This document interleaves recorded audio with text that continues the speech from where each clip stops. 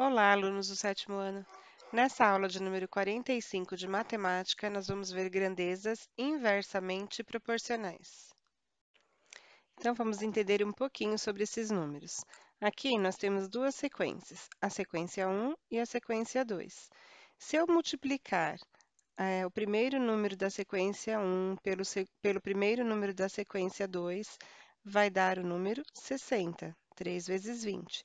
Se eu multiplicar aqui agora o segundo número das duas sequências, 4 vezes 15, também deu 60. Se eu multiplicar o terceiro número das duas sequências, 6 vezes 10, 60.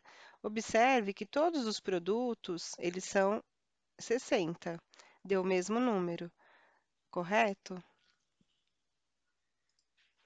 Quando isso acontece, nós podemos dizer que os números eles são inversamente proporcionais. Mas por que inversamente? Repare que na sequência 1, os números estão aumentando. Então, é 3, 4, 6. 6. Na sequência 2, a gente está diminuindo a numeração. Ó, eu tenho 20, caiu para 15, caiu para 10. Por isso que elas são inversamente proporcionais. Quando eu multiplico, sempre vai dar o mesmo número, mas uma sequência está aumentando e a outra está diminuindo. Vamos ao primeiro exemplo. Eu tenho duas sequências, 5, 8 e 12, e 24, 15 e 10. Vamos verificar se elas são, nessa ordem, inversamente proporcionais. Então, é o primeiro número com o primeiro número da segunda sequência. Então, 5 vezes 24 está aqui embaixo, 120. 8 vezes 15 também deu 120. O terceiro número, 12 vezes 10, também deu 120. Então, os números 5, 8 e 12 são inversamente proporcionais aos números 24, 15 e 10 porque essa sequência está aumentando e a outra sequência está diminuindo, por isso que eles são inversamente proporcionais. No exemplo 2, nós temos é, valores para descobrir quais são. Então, x, y e z, a gente vai substituir essas letras porque a gente não sabe os números. Então, a sequência é x, y, z e o quarto número é o 3 apresente números inversamente proporcionais aos números da sequência 4, 6, 9 e 12. Então, eu tenho que descobrir quais serão os valores x, y e z para que as duas sequências sejam inversamente proporcionais. Então, vamos lá, eu tenho que multiplicar o x pelo 4, o y pelo 6, o z pelo 9 e o 3 pelo 12. Quando eu multiplico 3 por 12, eu já encontrei a razão. Então, com a minha razão, eu consigo descobrir as letras x, y e z. Então, para cada caso, a gente vai calcular separadamente. 3 vezes 12 é 36. Eu vou comparar o x vezes 4 com o 36. X vezes 4 é 4x, que é igual a 36.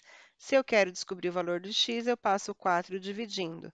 36 dividido por 4 é 9, então x terá que ser 9. Para o valor de y, y vezes 6, que é igual a 3 vezes 12. 3 vezes 12, 36. Passa o 6 dividindo, y é igual a 6. Agora, para, para o número z, né? Para, para a letra z. z vezes 9 que é igual a 3 vezes 12. Passa o 9 dividindo, 36 dividido por 9 é 4. Portanto, a sequência correta para substituir essa sequência aqui, ó, do x, y, z, é 9, 6, 4 e depois o número 3. No exemplo 3, é, ele pede para a gente dividir uma quantidade de 420 laranjas em partes inversamente proporcionais aos números 3, 5 e 6. É, para esse exercício, a gente tem que relembrar um pouquinho as propriedades que nós vimos na aula 41 e na aula 42, que são dos módulos 115 e 116, 117 e 118 da apostila anterior. Então, relembrando um pouquinho, a gente é, pode fazer a multiplicação entre as duas sequências. Então, 3 vezes x, porque o número 3 é o primeiro, x é a primeira letra. 5 é igual a 5 vezes y, é igual a 6 vezes z, e sempre teria que dar o mesmo número, que a gente chama de constante k, por isso que aqui está igualado a k. Agora, a gente vai pegar separadamente. Então, 3 vezes x é igual a, a k. Então, vou, ó, vou isolar 3 vezes x igual a k. Por que, que ficou x é igual a k sobre 3? Olha lá, quando eu faço 3x é igual a k, para eu descobrir o valor de x, eu tenho que é, passar o 3 para o outro lado da igualdade. Então, isso é a mesma coisa que x é igual a k dividido por 3. Então, para todas as, as igualdades aqui em cima, a gente vai fazer a mesma coisa. Ó. x é igual a k sobre 3. Para y, y é igual a k, quem vai passar dividindo é o 5, k sobre 5. E o z é igual a k sobre 6. Aí tá. Usando aquela outra propriedade lá do módulo anterior que a gente viu na outra apostila, eu tenho a somatória, porque eu tenho aqui, ó, 420 laranjas. Então, x mais y mais z é igual a 420. Então, eu vou somar todas as frações que eu encontrei. Então, k sobre 3 mais k sobre 5 mais k sobre 6 é igual a 420. Para resolver esse problema agora, para eu descobrir qual é a constante k, eu preciso tirar o MMC entre 3, 5 e 6, que será 30. 30 divide pelo de baixo, multiplica pelo de cima. 30 dividido por 3 dá 10, 10 vezes k, 10k. 30 dividido por 5 é 6, 6 vezes k, 6k. 30 dividido por 6 dá 5, 5 vezes k, 5k. Tudo isso é igual a 420. Agora, eu posso somar os k's. 10 mais 6 mais 5k é, são 21k's. Passa o 30 para cá dividindo. É, passa o 30 para cá primeiro multiplicando. O 30 está dividindo, passa para cá multiplicando. O 21 está multiplicando, depois passa dividindo. Chegamos a um valor que k é igual a 600. Agora, eu consigo encontrar o valor das minhas letras. Então, agora vamos calcular os valores de x, y e z. Se x é igual a k sobre 3, agora eu sei que k é 600, então vou substituir. 600 dividido por 3 é igual a 200. Se y é igual a k sobre 5, porque eu encontrei aqui em cima esse valor já, vou substituir, porque agora eu sei o valor de k. k é 600. 600 dividido por 5 é igual a 120. A mesma coisa faz com a letra z, tá? vai dar 600 dividido por 6, que é igual a 100.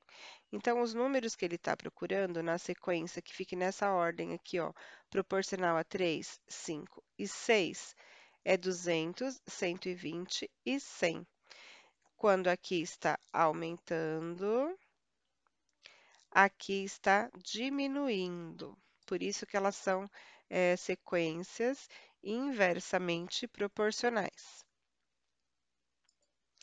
Exercícios de aplicação da página 76. Exercício 1. Em cada item seguinte, os números da primeira sequência são inversamente proporcionais aos respectivos números da segunda sequência. Determine em cada caso a razão de proporcionalidade K. Então, para a gente descobrir essa razão K, a gente vai ter que multiplicar o primeiro pelo primeiro da, das duas sequências, depois o segundo, depois o terceiro. Então, 4 vezes 18 deu 72. 8 vezes 9 também dá 72. 9 vezes 8 também dá 72. Então, a razão para essas duas sequências, a razão K, que é inversamente proporcional, é de 72. A mesma coisa para a sequência B. Então, é o primeiro vezes o primeiro. 2 vezes 45, 90. 3 vezes 30, 90. 9 vezes 10, 90 também. A razão K é 90. No exercício número 2, nós vamos ter que descobrir as letras que estão desconhecidas aqui na primeira sequência. Então, nós vamos usar a mesma propriedade, multiplicar o primeiro termo pelo primeiro termo da segunda sequência. Então, vai ficar 5 vezes 4, x vezes 2 e y vezes 10. Quando eu faço 5 vezes 4, como eu tenho os dois números, aqui eu consigo descobrir a minha constante k. Então, 5 vezes 4 é 20, correto? Agora, eu vou é, igualar a 20 cada uma das multiplicações a seguir para encontrar o valor da minha letra. Então, x vezes 2 igual a 20. Se 2x é igual a 20, x é igual a 10, porque eu passo esse 2 para cá dividindo. A mesma coisa, vou fazer com y vezes 10. y vezes 10 é igual a 20. Se eu vou passar o 10 dividindo, meu y será 2. Então, x é igual a 10, y é igual a 2. A primeira sequência vai ficar 5, 10 e 2. A mesma coisa vocês farão para as três sequências a seguir. Então, na letra B, 6, 8 e x, 4y e 12. 6 vezes 4, 24. É, 8 vezes x, eu vou igualar então a 24. É, passo 8 dividindo, y é igual a 3. x vezes 12, também vou igualar a 24. Passo 12 dividindo, x é igual a 2. Na sequência C, eu tenho 8, 5 e 20, 10, x e y. Então, 8 vezes 10, 80. A sua constante k será 80. Então, 5 vezes x é igual a 80. Passo 5 dividindo, x é igual a 16. Depois, eu faço 20 vezes y, que é igual a 80. Passa o 20 dividindo, o y será 4. Na letra D, x, 5 e y, é, e 8, 40 e 50. Então, é, 5 vezes 40 para encontrar a constante, porque a casa, é, o termo do meio é que eu tenho os dois números. Então, 5 vezes 40 é igual a 200. Agora, eu faço 8 vezes x, que é igual a 200. Passo 8 dividindo, x igual a 25. A mesma coisa eu faço com y vezes, vezes 50, que é igual a 200. Passo 50 dividindo, y então tem valor de 4. No exercício 3, a sequência é 5, 6, 8 e a outra é A, B e C. Só que aqui ele já dá a sua razão de proporcionalidade, ele já fala que é 480 a nossa letra K, que é a nossa constante. Então, eu posso multiplicar 5 vezes A igualar a 80, 6 vezes B igualar a 480, 8 vezes C e igualar a 480. Depois é só passar o número dividindo, então A vale 96, B vale 80 e C vale 60. Então, os valores procurados são 96, 80 e 60. No exercício 4, uma quantidade de 380 ovos deve ser distribuída em quantidades inversamente proporcionais aos números 4, 6 e 9. Calcule quantos ovos serão colocados em cada uma dessas partes. Então, galerinha, aqui a gente vai fazer a sequência A, B e C para descobrir os números. Então, eu vou multiplicar o primeiro número por A, o segundo número por B e o terceiro número por C, igualar a constante k, que eu ainda não sei qual é. é Para descobrir a constante k, eu vou isolar a letra A, B e C. Então, se A é igual a K sobre 4, B é igual a K sobre 6 e C é igual a K sobre 9. Nós sabemos que o total dos ovos são 380, então vou usar a propriedade que nós aprendemos lá anteriormente e vou somar as três frações. k quartos mais k sextos mais k nonos é igual a 380, que é o total que o exercício está me dando. Então, vou tirar o MMC entre 4, 6 e 9, que deu 36. Divide pelo de baixo, multiplica pelo de cima. Em cima dará 9K, 6K e 4K. Agora eu posso somar, porque eu estou no mesmo denominador. 9 mais 6, 15, mais 4, 19. É, 19K é sobre 36 é igual a 380. Passa o 36 multiplicando 380, depois no resultado o 19 dividindo. Então, K deu, 3, deu 720. E agora é só substituir em cada uma das letras aqui em cima. Então, se A é igual a K sobre 9, agora eu sei o valor do K. Eu coloco 720 no lugar. 720 dividido por 4 é igual a 180. Na outra fração, eu tenho que dividir por 6. 720 dividido por 6 é 120. Na última fração, eu vou dividir por 9.